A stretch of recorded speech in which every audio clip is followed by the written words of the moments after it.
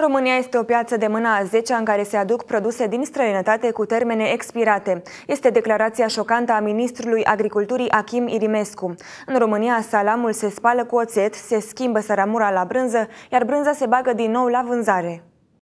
Potrivit ministrului, statul nu-și face datoria. Autoritatea Națională pentru Protecția Consumatorului nu-și o face. România este o piață în care importatorii se orientează și aduc produse la sfârșit de termen de valabilitate sau chiar depășit. România este o piață de mâna a zecea în care se aduc produse din străinătate cu termene expirate, afirmă ministrul agriculturii Achim Irimescu într-un interviu pentru ziarul financiar. Alții controlează ce intră din România. Noi, de ce să nu controlăm ce primim de la alții, completează ministrul Irimescu. Ajuns ministru în urma protestelor de stradă odată cu instaurarea guvernului tehnocrat, Irimescu nu este străin de ce se întâmplă în România. La Bruxelles, de unde vine, ocupa funcția de șef al secției de agricultură la reprezentanța permanentă a României la Uniunea Europeană. A fost secretar de stat în Ministerul Agriculturii, consilier al ministrului Agriculturii, un om care știe ce spune atunci când afirmă că import importurile sunt de slabă calitate pentru că România este considerată o piață de mâna a zecea.